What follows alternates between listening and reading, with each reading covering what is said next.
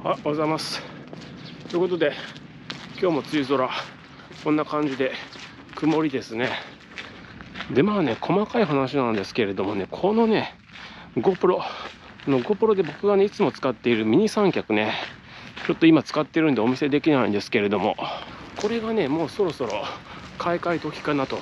いうところであのっていうのもねこのあのミニ三脚の部分っていうのが3段でこう伸びるようになってるんですけれどもそれがねもうね自重でねガンガンガンガンこう下がってくるんですよ。なのでこれをねあのテーブルに置いてこの間も使おうとしたんですけれどもそうするとねどんどんどんどんこう下がってきて高さがもうね稼げなくなってるんでこれはまあ結構長い間使ったんでね、まあ、安いもんだしそろそろ買い替えかなと。こうやってこう自撮りとかねする分においてはこう角度がつくんでねあの下がったりはしないんですけれどもあのテーブルなんかでね角度を取ろうとすると、まあ、あの最後まであっという間に下がってくるんでねこれはまあちょっと寿命ということでその辺をねちょっと物色しつつ今日もなんか一本動画撮ってみようと思います。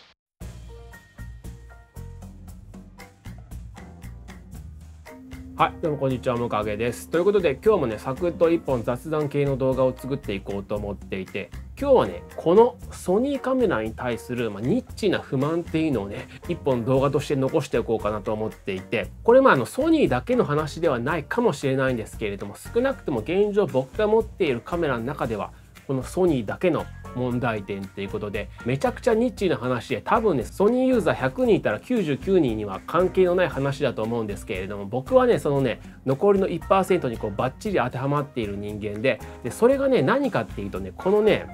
モニターなんですよモニター。モニターの問題なんですね。で実際じゃあ何がモニターの問題なのかっていうとモニターがね僕の場合あの見えなくなることっていうのが多々あるんですよ。このソニーカメラのモニターっていうのはね。でこれはねどういうことかっていうのをちょっと後からねあのちゃんとこう説明するとしてあのちょっと話変わるんですけれども毎朝こうできる限りこの GoPro なんかを使ってあの朝のね散歩映像っていうのを撮っていてあのそれなんかをね見ていただいたら分かるんですけれどもほぼ間違いなくね常にねこのサングラスっていうのをかけているんですね。で僕があのサングラスをかけている理由っていうのは別にこう透かしているわけじゃなくてあのもうこれねなくてはならないものなんですよ僕にとって。でまあ僕の場合こうこのサングラスなしでこう裸眼でね外に出るとねあのほぼほぼ間違いなくね片頭痛っていうのが出るようになってしまったんですね。あの子供の頃はねそんなことがなかったんですけれども10年ぐらい前からあの、まあ、そういった症状っていうのが出ていて、まあ、病院なんかで行ってもね、まあ、対処法としてはこうサングラスをかけるしかないっていうことで本当にねこう日差しがね強い時なんかはちょっとコンビニに行って帰ってくるだけでもねあの戻ってくるとね片頭痛が出てくるぐらい、まあ、なので僕の場合ね普段かけているものとは別にもう一個予備のサングラスっていうのをま常にねあの持っているんですけれどもでちょっと話戻ってこのソニーのねスクリーンの見づらい問題っていうのもこのサングラスっていうのと関係していてあの実はねこのサングラスっていうのを使うとソニーの LCD モニターっていうのがねブラックアウトするんですよね。でこれま全てのソニーのカメラで起こるわけでもないですし全てのサングラスで起こるわけでもないんですけれどもある条件下では100発100中でこれ起きるんですよ。まずねサングラスの種類なんですけれどもいわゆるこう変更サングラスこれをかけている状態だとねブラックアウトしてしまうんですよね。でこれねちょっとまあ実際にね見てもらうのがね一番早いと思うんですけれどもまあ、こんな感じでね今こう裸眼の状態でこのソニーのね ZV-10 のモニターを見ているって感じなんですけれどもここにこのサングラス僕が普段使っている変更サングラスっていうのを当てるとこんな感じではい。もうブラックアウトしましたよね。こんな感じで。ただしこれね変更レンズっていうこともあってこれをぐーっと傾けていくと見えるんですよちゃんと。でも横位置ではこれ見えないんですね。変更サングラスの角度によってあの必ずねブラックアウトするポイントっていうのがあるんですけれどもソニーカメラの場合っていうのは横位置の状態でまブラックアウトしてしまうっていうことであの僕なんかこうカメラ写真でも映像でもそうなんですけれども縦位置で撮ることっていうのはまずないんであのこの変更サングラスをつけている状態だとほぼほぼ間違いなくブラックアウトしてしまうって感じなんですね。なんですけれども例えば、ね、他のカメラここに今 GoPro がありますけれども GoPro なんかはこんな感じで横位置でもねちゃんと見えるわけですよ。なんですけれども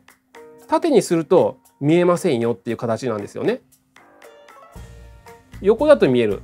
でもソニーの場合逆なんですよ。横だと見えないんだけれども縦で見えますよっていうことなんですよ。これね僕が知る限りほとんどのカメラっていうのは GoPro なんかと同じように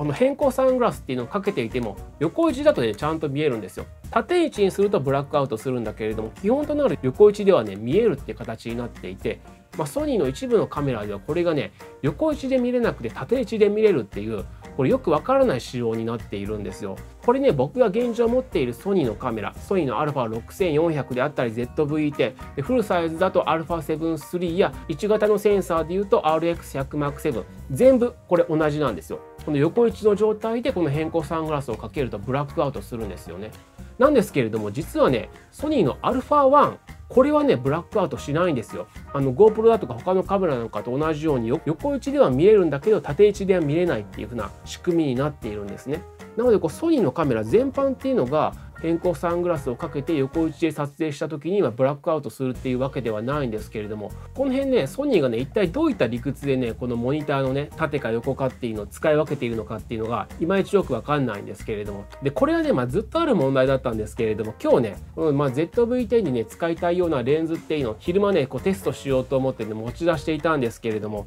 やっぱりねこのねこの変更サングラスをつけているとねブラックアウトしてしまってねそれがねすごくこう使いづらかった、まあ、なのでね結局ねこのサングラスっていうのをこのおでこにかけてあの別のこう変更ではないサングラスをかけてね昼間ねパシャパシャ撮ってたんですけれどもちょっとまあいろいろとね変な人みたいになっていたんでこれがね個人的にねあの長く続くソニーカメラへの不満と言いましょうか。これどうなんでしょう？最新のソニーのこう ZV-E1 であったりだとかそういったカメラのモニターっていうのがあのどうなってるのかっていうのは分かんないんですけれどもやっぱりねこう特にこう VLOOCAM になって EVF っていうのがね省略されたこともあってあの EVF の場合っていうのは変更サングラスつけても問題ないんですよ。なんですけれどもこの VLOOCAM の場合っていうのはやっぱりねあの EVF っていうのがなくてこのモニターだけでねあの撮影するっていうこともあって、まあ、これがねすごくニッチなね悩みではあるんですけれども実際ねこの変更サングラスっていうのをね手放せない身からするとね例えばこう変更サングラスとかって釣りとかする人って結構サン変更サングラスをかけるケースっていうのが多いんですけれどもそういったこう釣り系のね YouTuber さんとかでこういったこうソニーカメラを使っている人ってなんかどうやってんだろうなっていう風なのがちょっとこう気になっているんですけれども以前ねこれねソニーのカスタマーサービスにねこれちょっと何とかしてくださいっていうのを送ったことはあるんですけれども、まあ、なかなかこう反映されずって感じで、まあ、なんとかしていただきたいなと思いますし、まあ、実はね回避方法っていう形でディスプレイにこうノングレーのスクリーンとかっていうのを貼るとま回避できるケースっていうのもあるんですけれども